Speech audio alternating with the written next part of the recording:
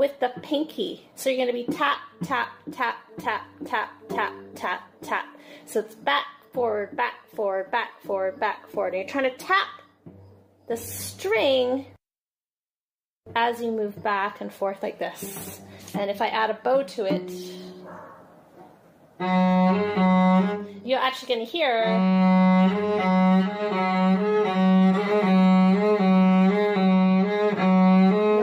that fourth finger. You might not hear the first one because we're we've got the second finger in place. Mm. You're going to hear